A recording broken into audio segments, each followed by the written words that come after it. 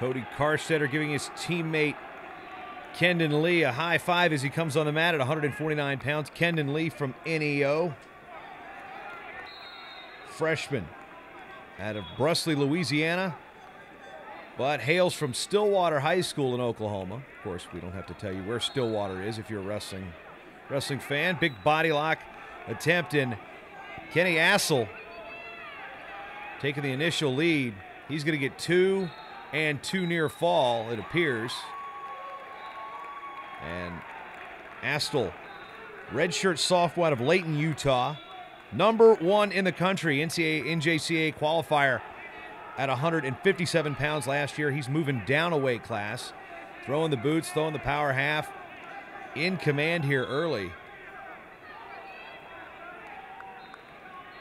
Inflicting some intense legal pain. I think I read that in the back of a wrestling shirt some way. Back in the day. Kendon Lee, again, a freshman. And Astle ranked number one in the nation.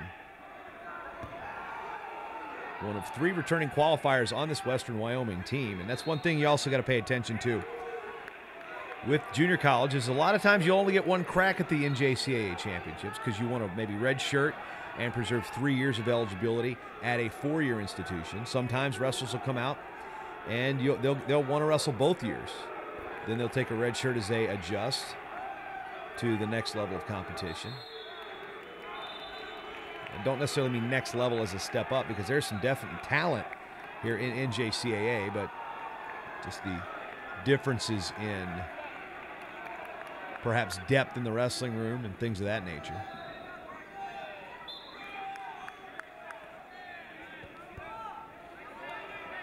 Lee up to his feet.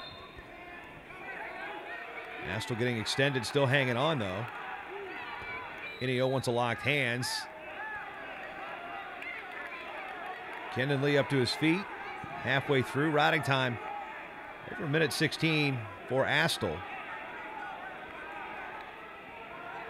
4 1 lead. NEO leads the dual 9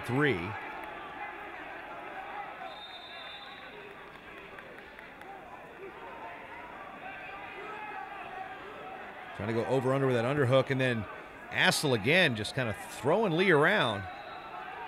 Able to finish that sequence. Hanging on the chin. Tries to go outside trip. Now tries to go inside trip. Whatever it is, he likes this tie. Over under, tried the outside trip again. Lee clears that. A little bit of danger. Comes back to the center. 45 to go. Double unders. And Lee's going to throw Astle to his back. He's going to look for the fall. He's got to count. He needs to settle.